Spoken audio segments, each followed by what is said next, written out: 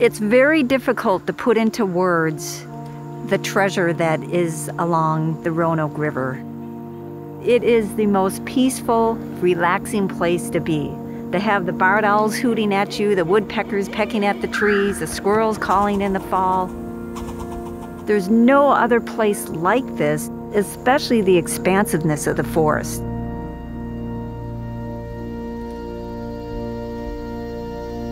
To me, the Roanoke represents a wilderness in eastern North Carolina that you just can't find somewhere else. Some people equate the giant swamp forest to something like the Amazon. As conservation of the lower Roanoke was really coming together, scientists and others realized that there was critical components missing. And really those components were tied to alterations of flow at the Kerr Dam. The dam was put in in 1953 when it became operational. And back in the day, we did not realize the damage we were doing to the ecosystems downstream of the dam. Water runs the whole system on the floodplain. It formed it, it dictates what's going to grow where, what animals are going to occur where. The dams have altered the hydrology in a way where we get flooding during the wrong time of year for longer periods of time. The system, the trees that we see out there now, did not evolve with that kind of hydrology.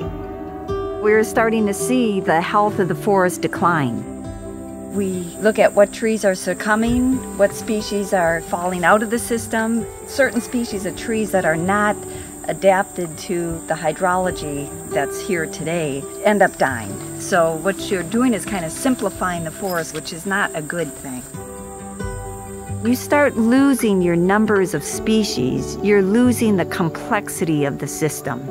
And that's that complexity that has that built-in resiliency the system being able to tolerate windstorms, diseases, anything that's thrown to it.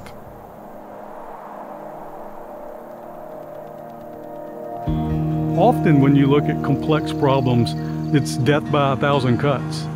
But in this situation, there's one major dam controlling the flow of that river. And so, as we began to better understand the river's needs, we could work in partnership with the U.S. Army Corps of Engineers to balance how that asset is managed in ways that still benefit people while at the same time reducing the stresses to the lower river system. It really is taking that man-made asset and better managing it for a wider range of resource needs.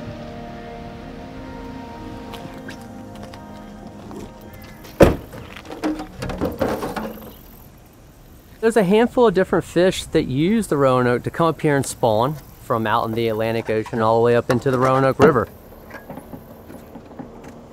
We're looking at eDNA, environmental DNA sampling. And these samples will give us kind of a, a, map, so to speak, a timeline of when the fish are in here, when they're not, and are fish actually making it into some of the habitat that we suspect or think they should be getting into.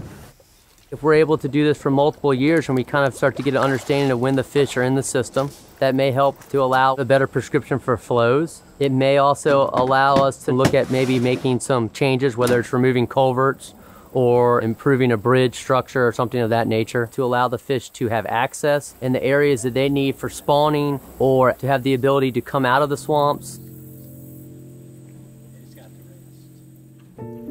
It's critical to try to understand the whole system. You got to continue to adapt. You got to continue to monitor and you know try to make the best management decisions that you can across the board.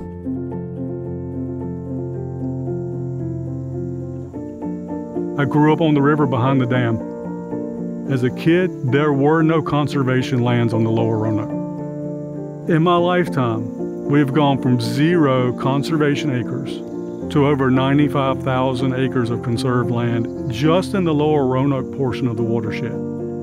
That is an incredible conservation feat and legacy. But to protect that land, it's not just about the conservation through ownership, it's about the conservation through management and to holistically protect it, to conserve the forest and the floodplains, but also work to manage resources so that the ecological function is there. Is a unique story and it's a gift for generations to come.